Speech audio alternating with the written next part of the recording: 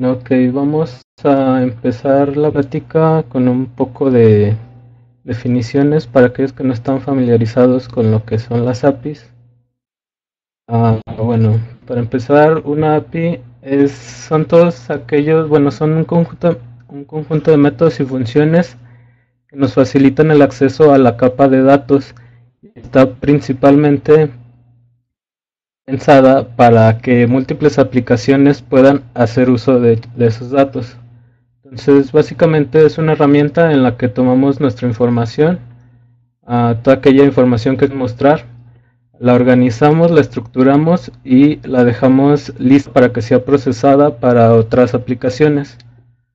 En una API las fuentes de datos no tienen que ser precisamente una base de datos, pero pues es lo más común. Ah, otras fuentes de datos pueden ser, por ejemplo, otras APIs que alimenten a nuestra API. Ah, también cuando hablamos de APIs, el usuario que consume la API por lo general ah, no va a ser el usuario final, sino que una API está pensada para que otras aplicaciones sean construidas eh, y sean, bueno, para que otras aplicaciones consuman los datos que nosotros exponemos por medio de la API.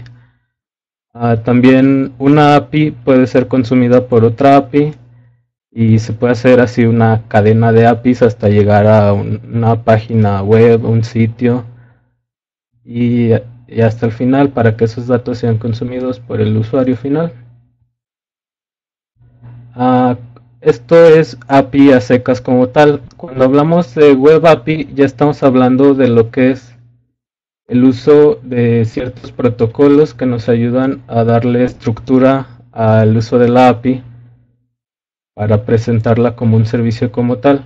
En este caso ah, vamos a hablar de REST. REST es una metodología para el desarrollo de servicios basados en Internet. Ah, REST fue presentado por primera vez desde el año 2000, o sea que ya tiene tiempo. Y REST nos habla de varios ah, diseños fundamentales para la implementación de servicios. Entre ellos nos habla de que es un protocolo ah, con el modelo cliente-servidor sin estado o stateless. Esto nos indica que cada mensaje o cada petición que haga el cliente hacia el servidor Contiene toda la información necesaria para comprender dicha petición, es decir, que cada petición puede funcionar uh, de forma independiente sin necesidad de que ni el cliente ni el servidor necesite recordar ningún estado de las comunicaciones anteriores. El siguiente punto uh, nos habla que REST está orientado a funcionar por medio de recursos eh, estos recursos son accesibles por medio de la URI. La URI nos indica la dirección específica en la que está el recurso al que queremos acceder. Por ejemplo, de este lado vemos el método. A diferencia de programación orientada a objetos, por ejemplo, que está muy enfocado a lo que es el verbo o a las acciones, una API en REST está orientado a lo que es a lo que son los recursos. Por ejemplo, en este caso tenemos lo que son tareas. El tercer punto que nos habla de verbos, HTTP, ahí sí entramos con lo que son las acciones que podemos ah, ejercer a los recursos que tenemos en nuestra API. En HTTP hay un cierto conjunto de operaciones, que es lo que les menciono como verbos HTTP. Eh, los más importantes son el post, el get, put y delete, que es el equivalente a las operaciones CRUD que tenemos en base de datos para crear, editar, leer información y finalmente borrarla. Ah, si se habrán dado cuenta, eh, mezclé un poco lo que es REST con HTTP que para ser técnicamente correctos no es lo mismo. Ah, si bien REST cuando fue definido en el año 2000 no mencionaba como tal HTTP, en la actualidad HTTP es la mayor implementación ah, que tenemos al momento de utilizar REST. También cabe recalcar que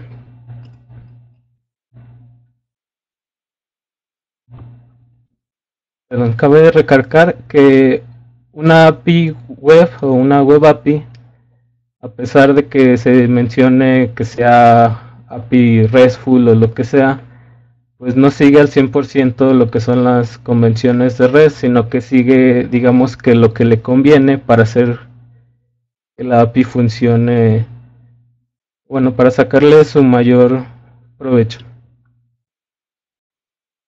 Vamos a ver un poco cómo se comunica una API o lo que es la estructura de la transacción en HTTP. Como ya mencioné, una API ah, hace uso de HP para realizar la comunicación entre el cliente y el servidor. Ah, por el lado de la petición, ah, tenemos la parte de la URI, que es la dirección del recurso al que queremos acceder, que está dividida por la dirección del servidor y la dirección específica del, del recurso acceder. Tenemos el método en este caso es un post que nos indica la acción que queremos realizar en ese recurso. Por ejemplo, en esta petición lo que estamos diciendo con post es que queremos crear un nuevo contacto. En la parte de las cabeceras nos habla de lo que es uh, es información acerca del mensaje total, o sea, de la petición y del cliente que la manda. Por ejemplo, aquí nos habla de que la información que vamos a enviar está en JSON, la longitud del mensaje y este tipo de cosas. Y por último tenemos el contenido del cuerpo. Ah, dependiendo de la petición que se realice, el cuerpo puede contener o no, o no información. Por ejemplo, en caso de que hagamos una petición GET que es para leer datos, solo, solo haríamos la petición y el mensaje iría vacío. Ah, del lado de la respuesta, tenemos que lo principal es el código de estado que regresa el servidor. Este código de estado nos indica qué fue lo que sucedió con nuestra petición. En este caso el código es un 201 y que nos indica que en efecto nuestra petición fue aceptada y el contacto fue creado. En las cabeceras, igual que en la petición, contiene información acerca del servidor y acerca del mensaje que, regresamos.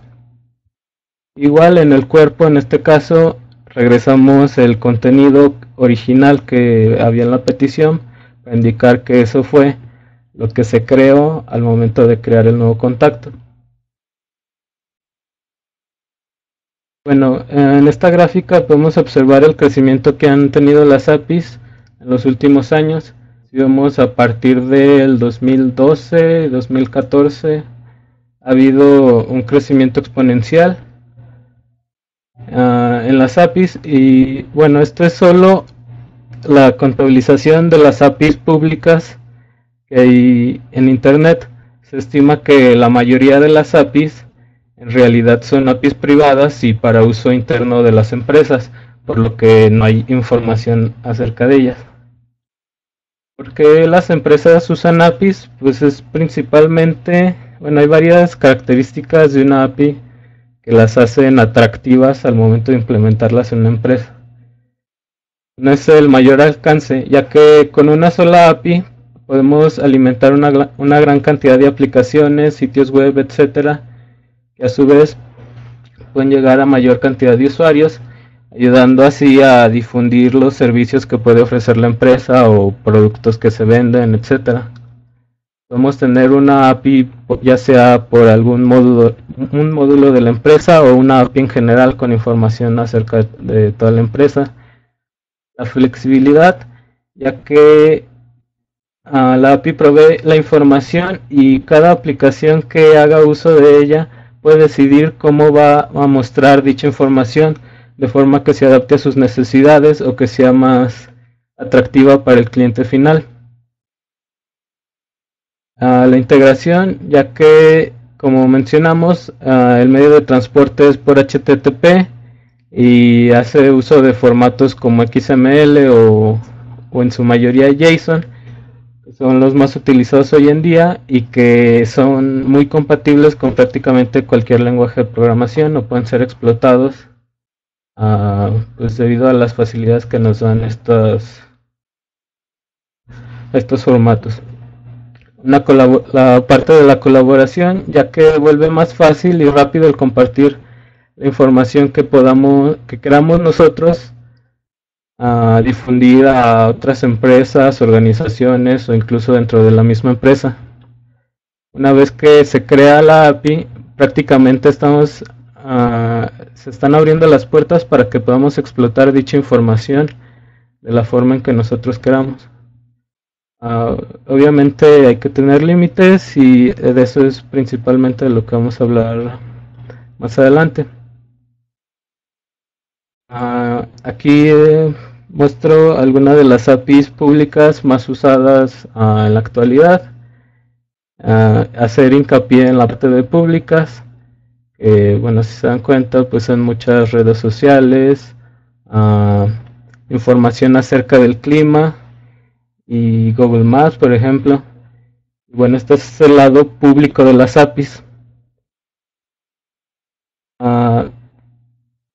Para el lado privado uh, es otro tipo de ámbito que veremos más adelante.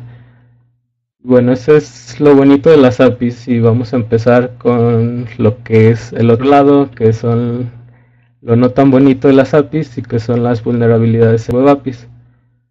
En esta imagen, en la parte de arriba, vemos esa línea que nos habla del límite de granularidad este límite lo que nos quiere decir es, por ejemplo, en una aplicación web o en un sitio web, uh, tenemos a un cliente que ingresa por medio de un navegador y va accediendo de clic en clic a lo que él quiere ver. Uh, sin embargo, de cierta forma, la misma aplicación te va guiando y te va diciendo hacia dónde, hacia dónde ir la misma aplicación va filtrando todo lo que haces, así que de alguna forma también controla qué es lo que quiere que veas. Y hasta el final vemos que el servidor tiene acceso a, la, a las bases de datos y que es ya cuando te muestra o te regresa cierta información que quieres ver. A del lado de abajo vemos lo que pasa con una API. Con una API, mmm, con una API pasa lo contrario. Uh, tenemos que el problema de las vulnerabilidades viene desde el, la parte del diseño de la API como tal. O sea, una API está diseñada prácticamente para mostrar desde un principio todos los recursos disponibles que nosotros tenemos en nuestro backend. De hecho, prácticamente nosotros somos los que documentamos y, lo que, y los que estamos diciendo, mira, aquí están todos los recursos, toda esta información, pues realizar todas estas acciones con ellas. Y bueno, ese es el objetivo de la API, pero a su vez también es el problema, ya que toda la información está disponible a la distancia de una sola petición. Otro de los puntos es que precisamente una API está creada para poder automatizar nuestros procesos, que a su vez también es una desventaja, ya que al eliminar el factor humano estamos abriendo paso a que cualquier persona pueda, por ejemplo, realizar un script que esté mandando miles de peticiones por segundo a nuestra API y esté tratando de conseguir información a la que no debería tener acceso o simplemente esté gastando nuestros recursos, etcétera.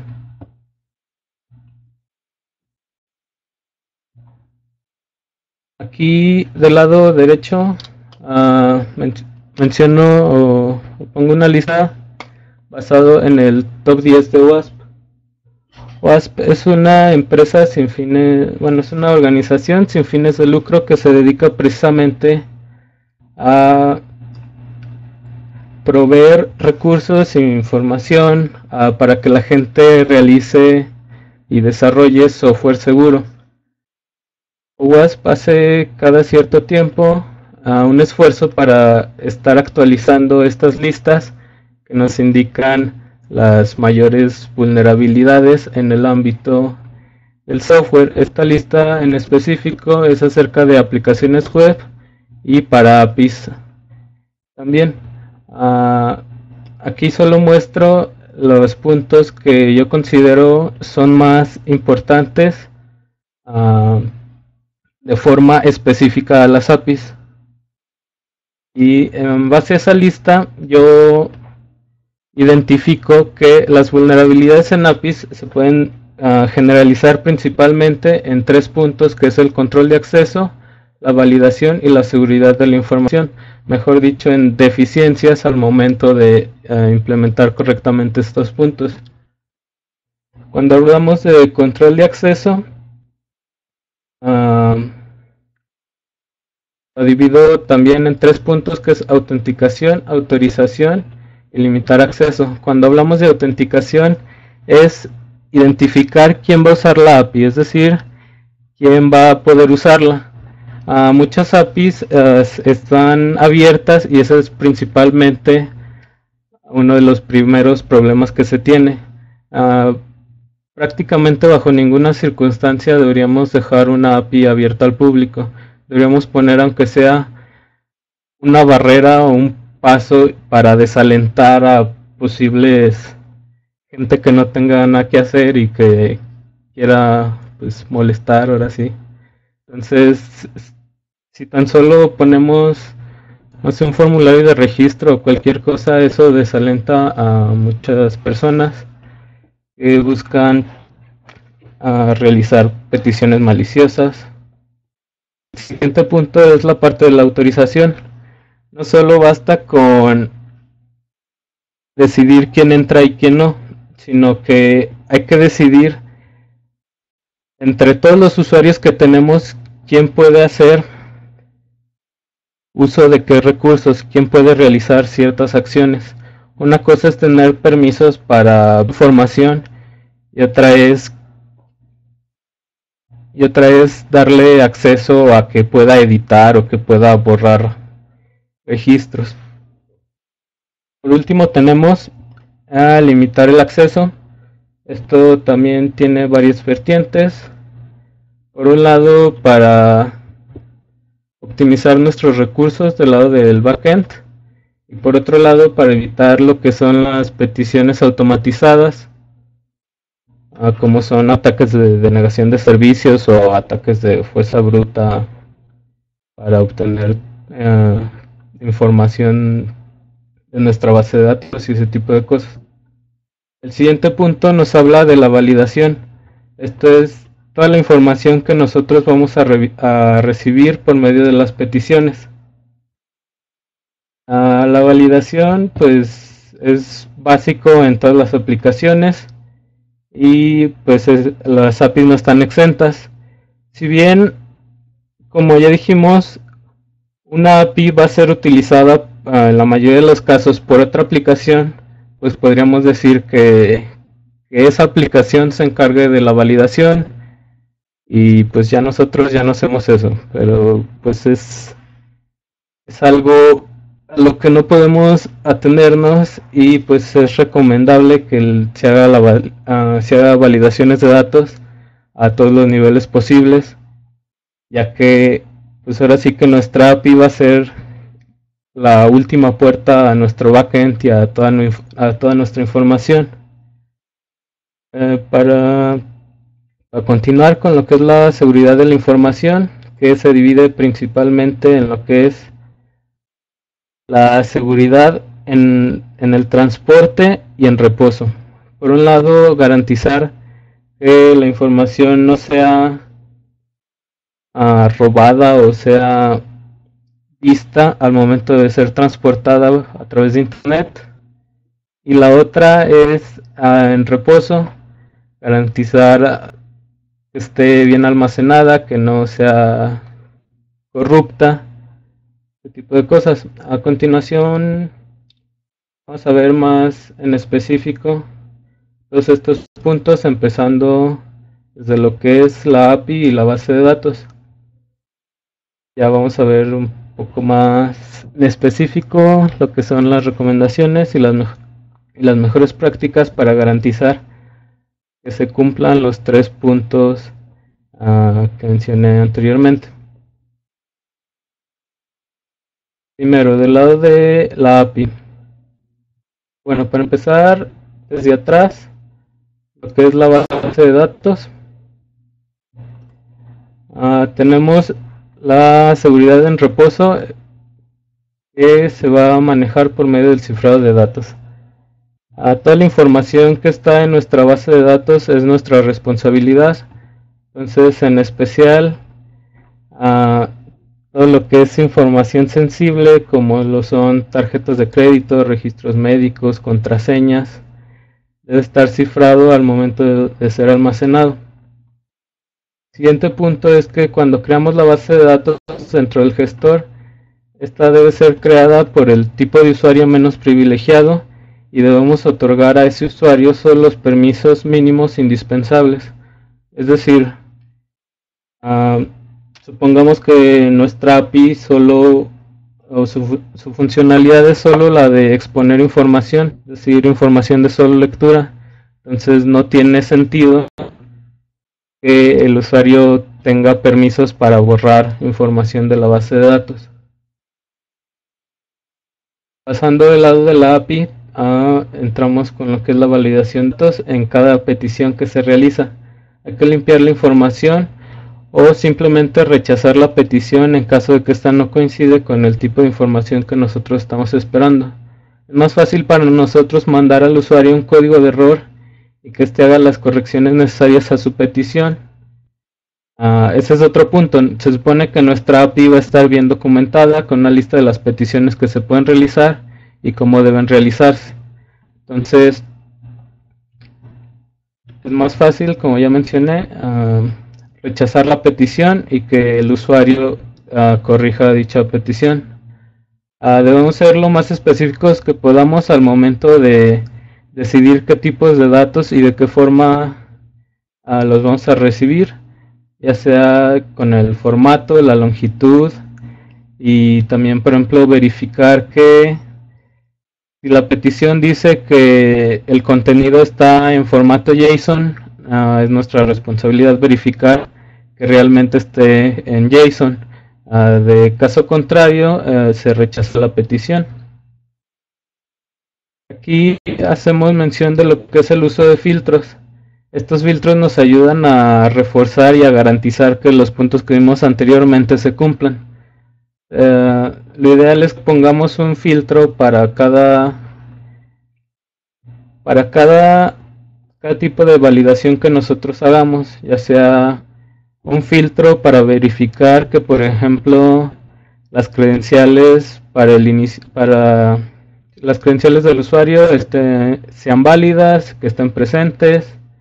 Uh, otro que verifique, por ejemplo, el formato del contenido, que sea como nosotros estamos buscando, la longitud del mensaje y cualquier otra restricción que nosotros hayamos establecido. Aquí hay que mencionar que hay una línea muy frágil entre lo nuestra obligación para darle al usuario la información que él necesita para que use nuestra API y a su vez ser cuidadosos de no darle información de más que pueda ser después usada en nuestra contra con fines maliciosos. Para eso están lo que es, eh, bueno, para eso menciono el último punto, que es el uso correcto de los estados HTTP. Ah, estos códigos de estado son los que le indican al usuario qué fue lo que pasó con su petición, si fue aceptada, si fue rechazada, si el recurso no fue hallado, si no tiene permiso para realizar esa acción, etcétera. Entonces, es importante que nosotros utilicemos los códigos correctos para darle al usuario la información que él necesita para saber qué pasó con su petición. Adicionalmente a los códigos de estado, ah, eh, con la respuesta a la petición se puede agregar ciertos mensajes ya un poco más detallados con información que le ayuden al usuario a entender qué fue lo que pasó con su petición o por qué no, o por qué no fue aceptada. Pero como ya mencioné, siendo cuidadosos de solo dar la información mínima necesaria y si no en caso contrario pues referirlo a lo que es la documentación de nuestra API. El, siguiente punto nos habla de cómo establecer la, la conexión entre la base de datos y la API. Es importante que usemos herramientas de mapeo objeto-relación.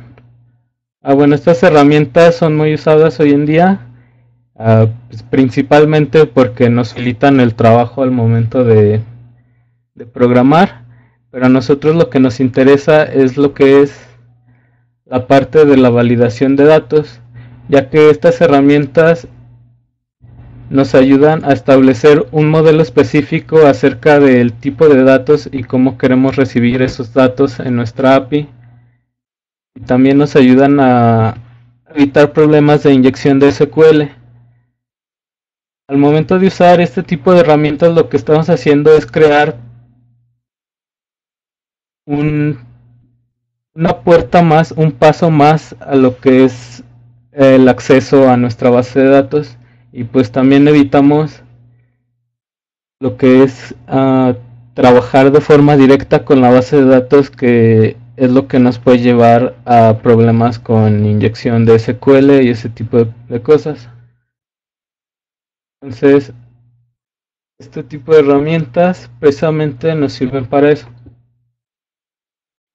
El siguiente punto está del lado del servidor de aplicaciones. Y básicamente lo que vamos a controlar es las cabeceras de nuestra API, lo que nosotros regresamos en las respuestas de las peticiones que nos hacen. Es importante eliminar todo este tipo de información de las cabeceras, lo único que hacen es darle información acerca de cómo está estructurado nuestro backend, uh, el tipo de servidor, la versión, o sea, darle la versión uh, al usuario mm, solo nos está nos está abriendo la puerta a que puedan usar ese tipo de información en nuestra contra para que ellos detecten qué vulnerabilidades había en esa versión y puedan hacer ciertos ataques. Entonces, hay que controlar lo que nosotros mostramos en nuestras respuestas. Como ya les dije, es, hay que mostrar solo lo mínimo necesario para el usuario. Otro de los puntos es añadir cautelas de seguridad. Esto más que del lado de seguridad uh, específica de la API es seguridad acerca del protocolo HTTP. Como estamos trabajando con HTTP, es importante para garantizar la comunicación a que nosotros eh, añadamos estas cabeceras dentro de las peticiones que realizamos, dentro de las respuestas que nuestro servidor hace.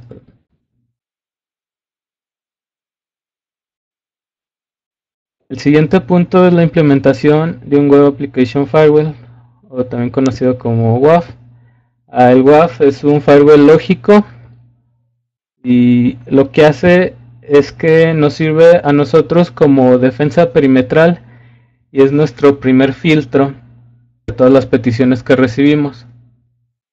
Todas las peticiones que se hacen a nuestra API pasan primero por el WAF. Este firewall lo que hace es que analiza cada una de las peticiones que se hacen y dependiendo de las reglas que nosotros establezcamos, detecta lo que son uh, posibles posibles ataques de código malicioso como inyección de SQL o cross-site scripting. Uh, detecta, por ejemplo ve que hay muchas peticiones de en muy poco tiempo de la misma IP, levanta una alerta y ya nosotros podemos decidir si esa, esa petición o esas peticiones es algo normal o si ya se trata de un ataque de fuerza bruta de, de, de denegación de servicios y pues todo eso queda almacenado en la bitácora para poder analizar nuestro tráfico. El siguiente punto es lo que es la implementación de un API Gateway. La API Gateway es muy importante y es uno de los puntos centrales dentro de nuestra infraestructura al momento de implementar una API.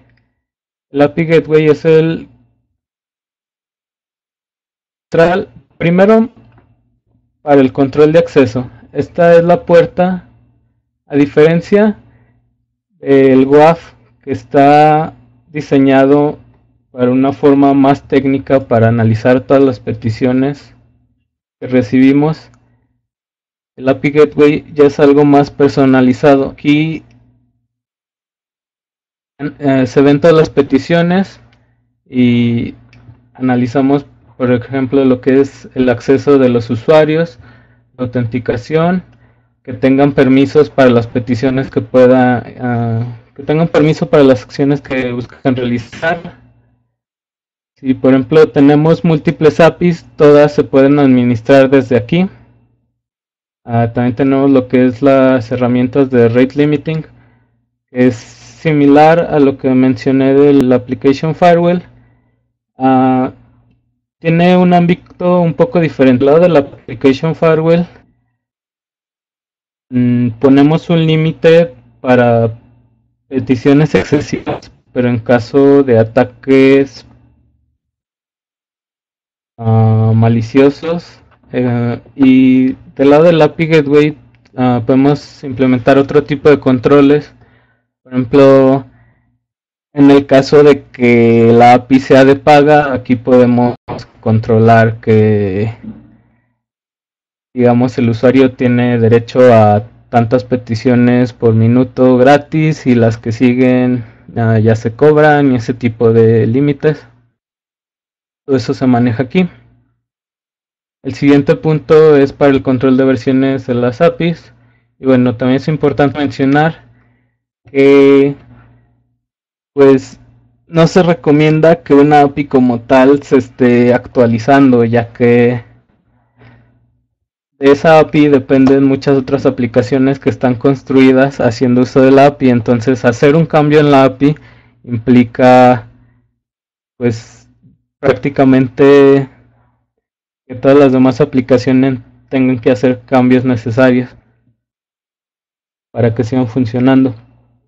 Entonces, pues no se recomienda que haya muchas modificaciones dentro de una API, pero en caso de ser necesarios, el control de versiones se puede manejar aquí. Siguiente punto es el monitoreo, ya sea para monitorear lo que es el tráfico de las peticiones que recibimos o el rendimiento de los recursos de nuestro servidor, todo se monitorea desde aquí.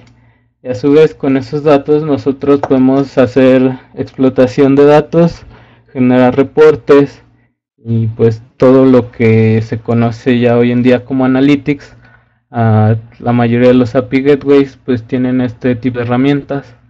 Y por último al igual que el web application firewall pues todo queda guardado en una bitácora que nos sirve para analizar posibles problemas. Bueno dependiendo del API gateway que nosotros implementemos Ah, tienen diferentes funciones y pues todo eso ya depende de las necesidades de la empresa más que nada. Bueno, aquí tenemos ah, como tal ya una vista de cómo, cómo luce una estrategia de implementación de una API. Ah, no, no se los mencioné antes, pero aquí les menciono que pues ya hoy en día yo creo que ya no es excusa tener tráfico por medio de HTTP y lo que es el uso de HTTPS pues debería ser prácticamente obligatorio. Igual cifrar todas las comunicaciones por medio de certificados. Eso también nos garantiza lo que es la seguridad en el transporte de la información, sin importar si es dentro de la empresa o, en especial si es por fuera de la empresa a través de internet. Bueno, entonces recibimos la petición, todo por HTTPS. Eh, el primer punto por el que pasa, como ya mencioné, es por el Web Application Firewall. Ahí se detectan ah, ciertos códigos maliciosos, detecta ataques automatizados en exceso, ese tipo de cosas. Después llegamos al gateway. Aquí el usuario ah, se revisa que la petición sea de un usuario válido, que tenga permisos para acceder a los recursos que quiere, quiere realizar. Y bueno, ya de aquí pasa a lo que es la API, donde se hacen otro tipo de validaciones y ya hasta el final la base de datos. Al principio les había mencionado tres puntos que era control de acceso. Uh, esa de control de acceso se ve más específico en lo que es el API Gateway y en la API. En la API Gateway recibimos las credenciales y se verifica que el usuario tenga permiso para realizar esas acciones. Dentro de la API es importante volver a realizar esas comprobaciones en caso de que haya un error, pues en la API se vuelve a pedir las credenciales, se vuelven a filtrar otras cosas. El lado de la validación de datos, el Web Application Firewall filtra en especial lo que es ciertos códigos maliciosos, SQL, cross-site scripting.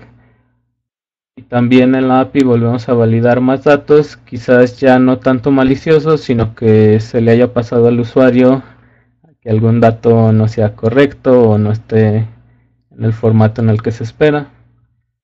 Por último, lo que es la seguridad de la información Ah, que se, garantiza principalmente con el uso de HTTPS y certificados, a lo que es el servidor de aplicaciones con las cabeceras y viendo que nosotros no demos más información de la necesaria acerca de nuestros servidores, ese tipo de cosas. Y del lado de la base de datos, haciendo lo que es el cifrado de datos al momento de guardar la información y que esté en reposo. Y bueno, comentarios adicionales es que una buena implementación empieza desde el diseño. Hay que analizar uh, que quién va a ser el usuario uh, de nuestra API, a qué tipo de información van a acceder, ese tipo de cosas. Eh, y en cuanto, dependiendo de, de, los usuarios, establecer lo que son los límites y los permisos. No reinventar la rueda. Hoy en la actualidad, uh, prácticamente cualquier cosa que busques hacer, ya existe una librería o algún algún alguna forma de hacerlo establecida o aceptada por la mayoría de la comunidad. Entonces, no tiene caso quebrarnos la cabeza con ese tipo de cosas. Muy importante mantener nuestros componentes actualizados, las actualizaciones entre todas las cosas, entre nuevas funciones y todo lo que hacen, uh, también están ahí para ir cubriendo todos los, todas las eventualidades y todos los nuevos ataques y vulnerabilidades que existen. Entonces hay que mantener todo actualizado. Y el, uso de bitácoras y el monitoreo de todo el tráfico y las peticiones que recibimos. Estar pendiente de todo eso, detectar, uh, no sé, si vemos muchas peticiones de la misma IP en poco tiempo, pues estar al pendiente y ver por qué, si es una petición de un usuario válido o no, ese tipo de cosas. Y bueno, por mi parte sería todo. Y a continuación, si tienen alguna duda.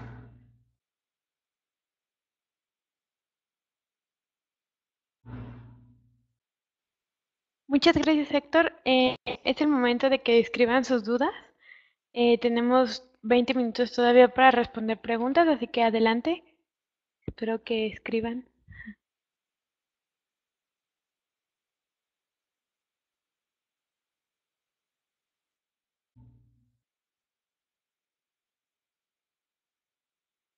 Software para el API Gateway. Uh, bueno, depende de las necesidades de la empresa. Uh, hay varias opciones en la nube que bueno, también son de paga, hay otras opciones que se pueden instalar dentro de los servidores internos. Y pues también hay opciones gratis de open source. Entonces como que el mejor pues no hay uno. Y también como ya mencioné muchos tienen funciones extensibles como con plugins y ese tipo de cosas entonces dependiendo de qué es lo que busques si buscas más el lado de la analítica de datos o analizar el tráfico entonces, no sé, depende de qué busques. ¿En qué lenguaje es más seguro programar un API? Mm, por referencia personal, te diría que .NET pues tiene una librería con pues casi que con la mayoría de las utilidades que puedas requerir. Pues ya están bien definidas y quizás en otros lenguajes tengas que programar un poco más.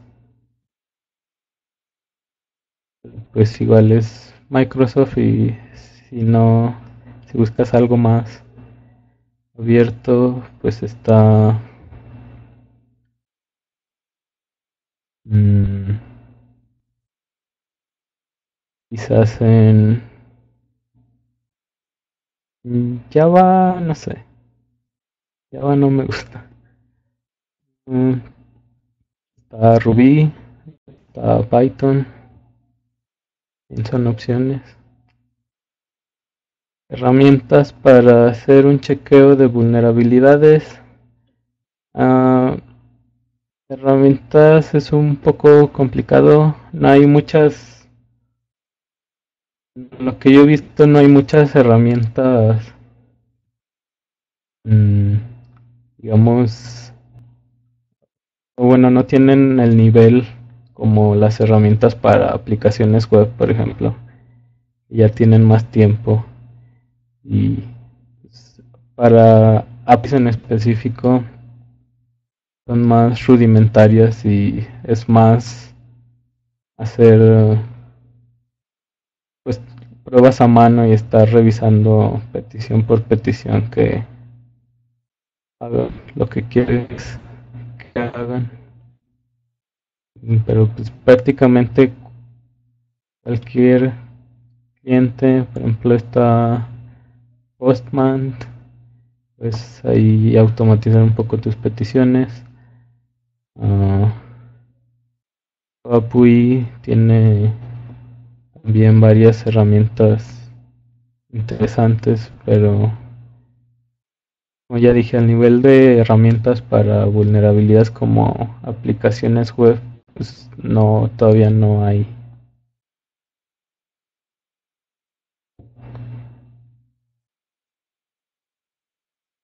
Los ataques más populares para una web API. Mm, pues como todo, y bueno, por eso en esta lista está el número uno, es la inyección. Yo creo que nunca va a pasar de moda. Y lo otro, ah, pues la falta de la falta de permisos también es muy ya sea que, tu API sea abierta o que tengas algún mecanismo de seguridad pero esté mal implementado, yo creo que el control de permisos es de lo más común al momento de atacar una API.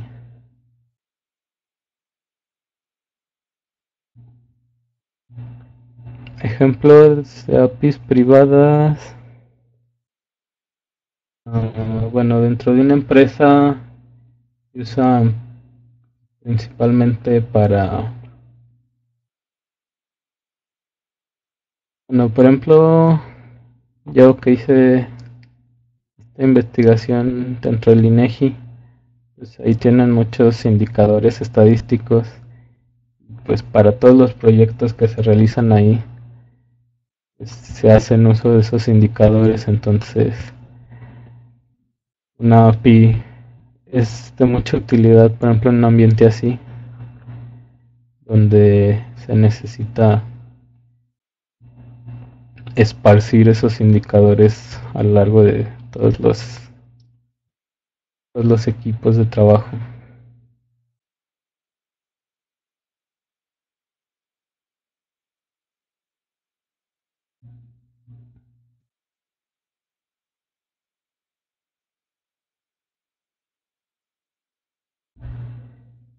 Sí, las pruebas de seguridad, como ya dije, no hay no hay tantas herramientas o no hay tantas opciones. Uh, muchos de los API gateways, una de sus funciones o con lo que te venden es que te ayudan a la que es la seguridad. Pero pues es más del lado del tráfico, yo diría. Entonces, lo que es la parte de la validación de datos mm, se tiene que hacer más manual.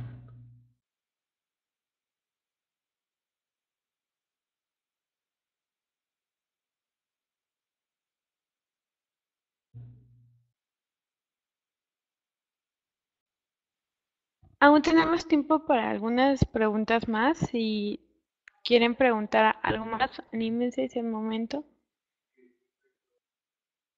Mm, Herramientas para pruebas de estrés. Mm, o pocas herramientas que tengan esa función específico. He visto uh, SOAPUI en esa función.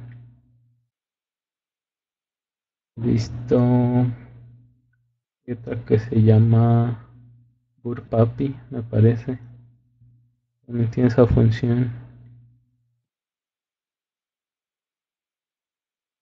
¿Cómo evitar el cross-site scripting? Ah, principalmente con el uso del Web Application Firewall.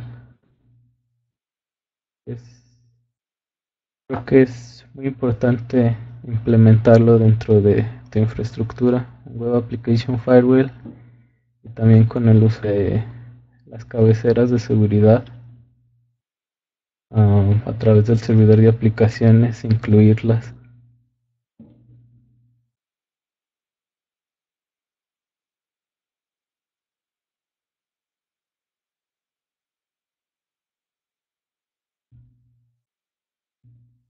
Bueno, para emplear un poco en el Web Application Firewall, uh, pues hay muchas opciones. Ah, de código abierto también.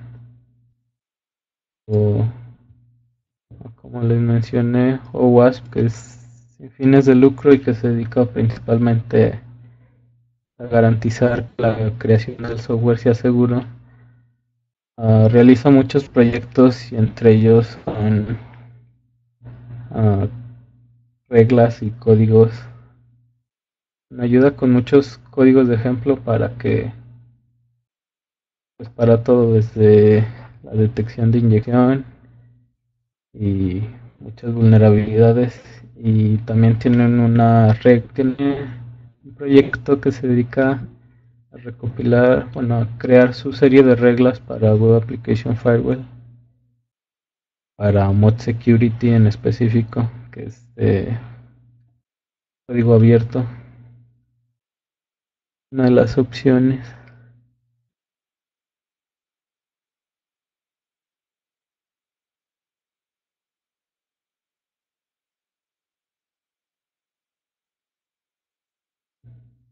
Este diagrama de integración, pues lo que es el backend, pues obviamente depende de tu empresa organización. Y pues ahí sí ya depende de eso, pero lo que es el uso de HTTPS, implementar un Web Application Firewall, pues sí, yo creo que es indispensable.